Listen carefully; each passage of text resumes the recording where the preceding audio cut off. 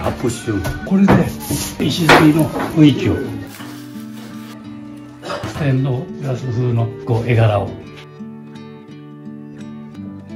完成しました。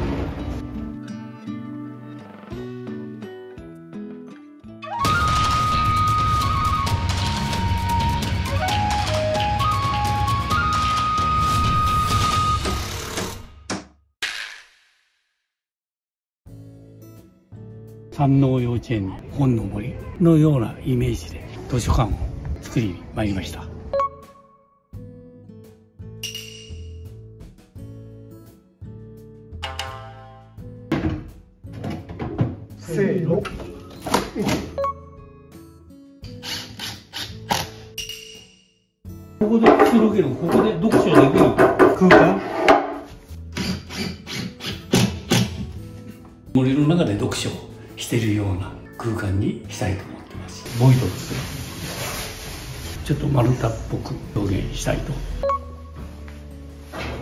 右ってこうこうだろうなって思い出すんで。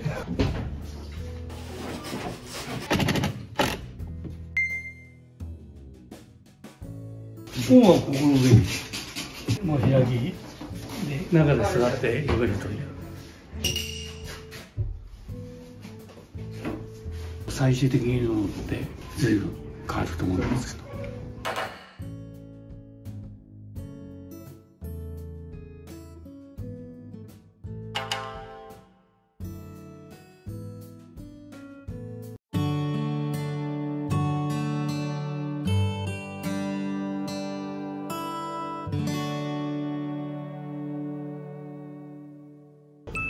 コード会社リベルティの山本です。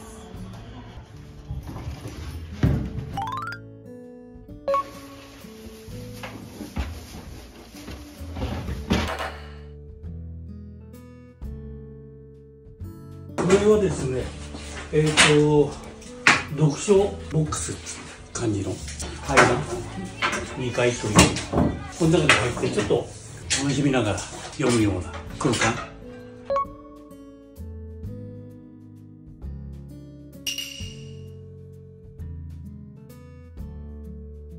一応ですねボイドの義木はほとんど大体ポイント塗り終わりましたのでだから今日は一斉にみんなその作ったスタッフ全員で色を塗っちゃってます。で場所によって色合いを濃淡つけてます。木によってやっぱり種類によってちょっと違うんではい。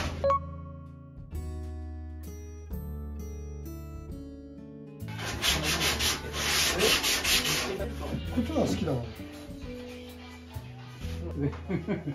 個性があっていいよ。一本一本ね。絶対同じのないんだから。うん。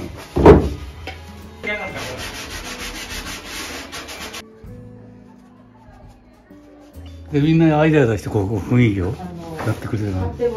色もちょっとリズムつけてあんまり単単調になっちゃうとちょっと色を。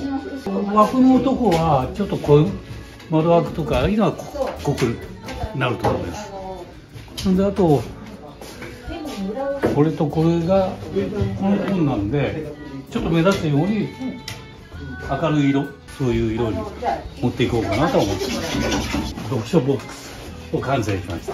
はい。あるものを利用した形で材料を使って。棚のやつが結構使えるんで使ってまあ位置的には一応先生の方でちょうどここの窓際という形になりましたから。やっぱ仕上がりが綺麗ですね。そうだよはいね。それ俺たちが作って。今までのね。今までの仕上がり。やっぱりそれ佐藤さんが。そうそうさすが。家具だもん。家具と呼んでます私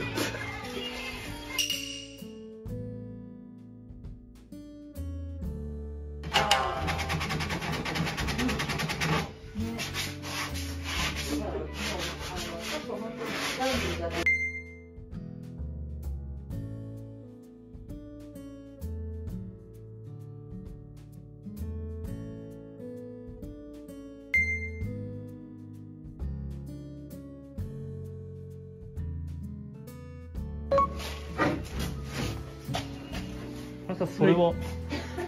えー、と一応ですねこれ10銭の厚み10銭の発泡スチロールまあこれでえー、っとこの間石積みの雰囲気を出したい。まあ本物の石貼ったんでちょっとね危ないしこうこれを切って着色してでここに貼り付けて。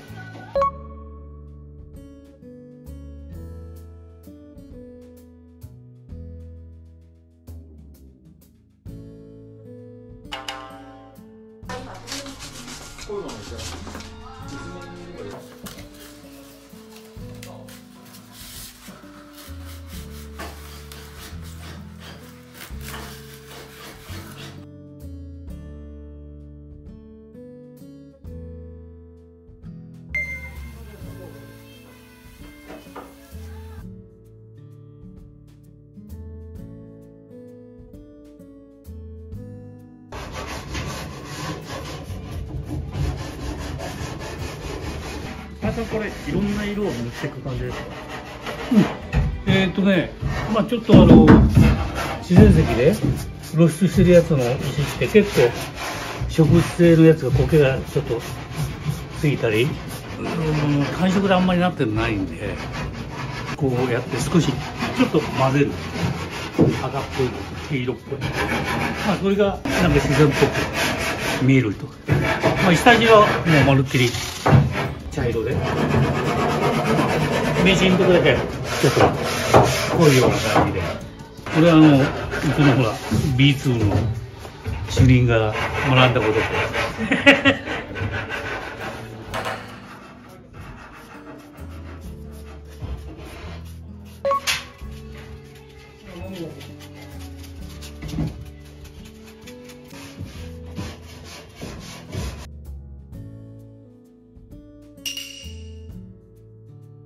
結構これが今主役になってんけどその手前にフェイクの植物が入るからまあこれはもうバックな感じになるので一岩から植物が出てるような雰囲気になるのでこれが主役じゃないから今度は脇役になるから。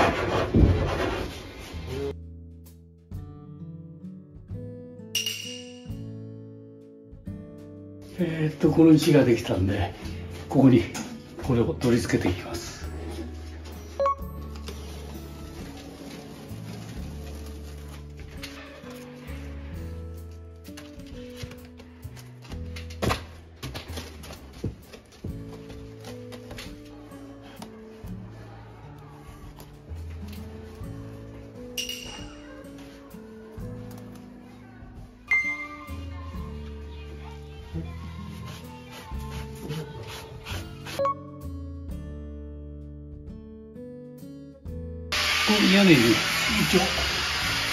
これをテントビールを貼っちゃいます。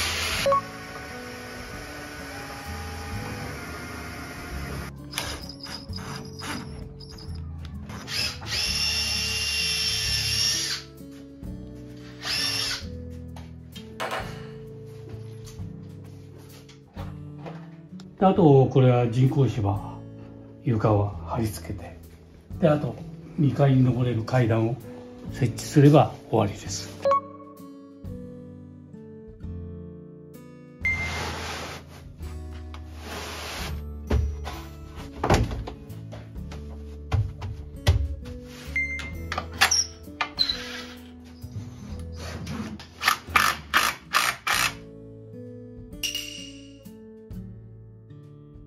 校庭からこの部屋が何であるかっていう図書館であると。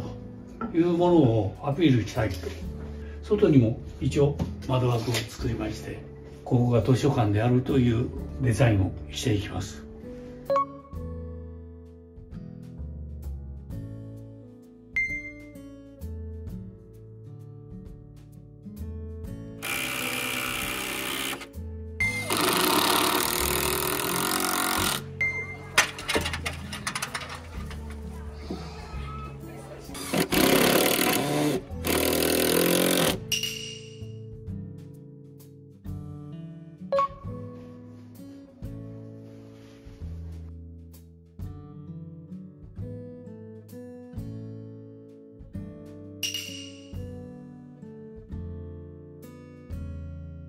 こうちょっと空間的にやはりあの明かり取りで窓が結構広いつやはりちょっと化粧しない。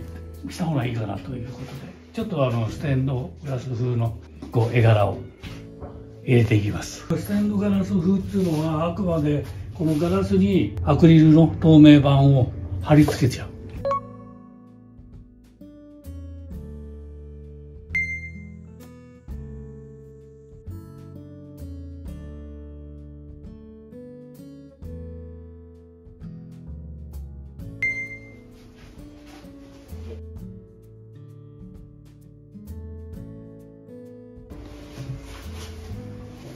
の塗料はどんな塗料？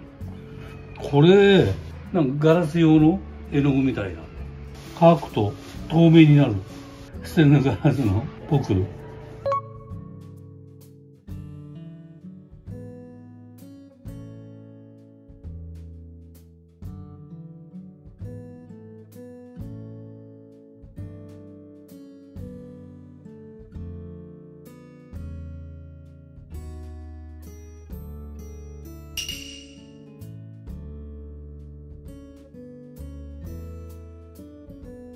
出来上がりましたのでこう取り付けていきます。ガラス。はい。これどうやって取り付け両面テープで。で縁は黒くやっちゃうんで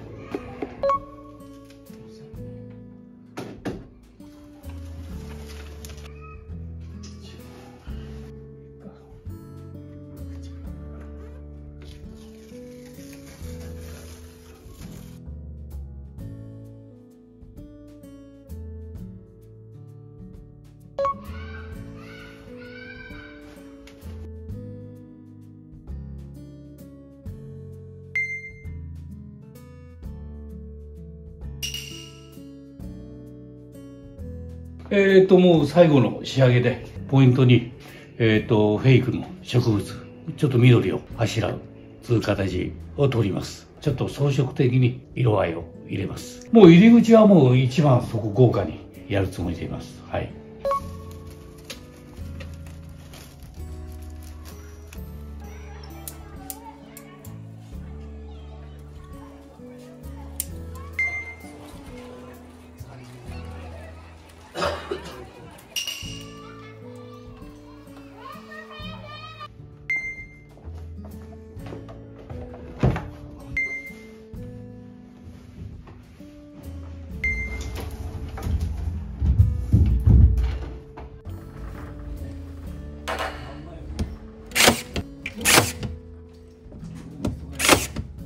これは何ですか？まあこれはあのアフリカの人が描いてそれをいただいたという絵なんです。でちょっとこれをポイント的にどうかと先生が持ってきて。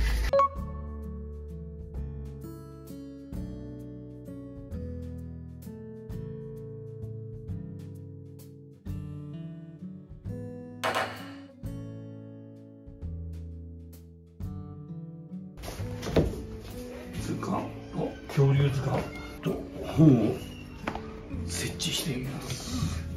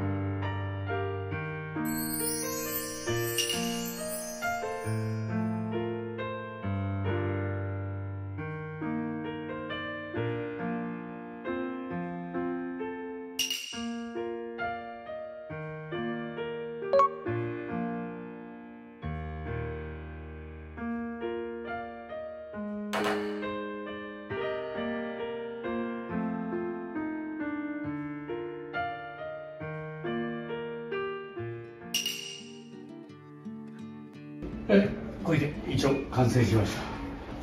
こんな感じです。ここだけ別世界。に入るということで。でこちらです。でこんな感じですね。で今の本はもう絵本非常に面白いんであの表紙をね見したものは置ける方のはいいかなということで。こう入れてるとねこうまだ字が読めないからこういうのがパッと興味引くっていうか。最初にね先生から園の方からお話があって、まあ、できるだけ自然の中、まあ、自然なんかそういう雰囲気で。だったら最初にピンときたのが、まあ、ボイド。まあ我々日常的にも仕事上ボイドは使ってたんですけど、まあ、これが室内だったらいいかなということでこれを使い選びましたけど。まああの木自体も単色でしなくて結構そっちは良かったかなと。まあ楽しかったですね。まだねちびちゃんたち見てないんで。で先生方も見てないんで。それをちょっとねどういうリアクションになるかが楽しみで。い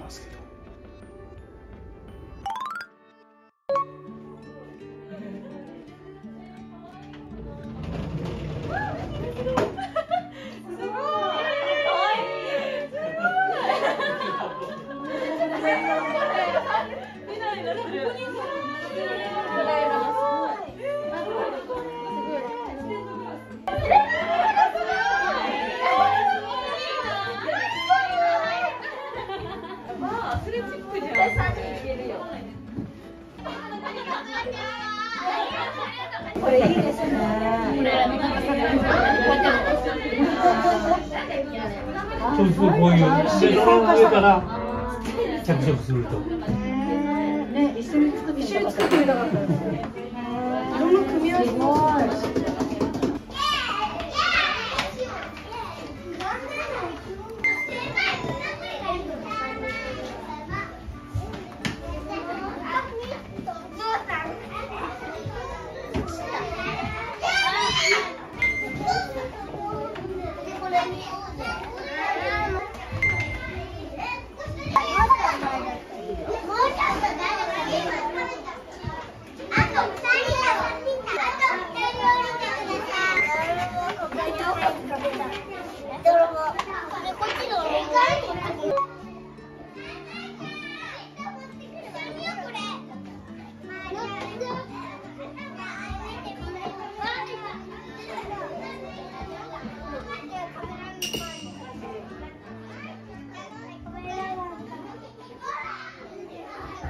応これで終わりましたもんね、はい。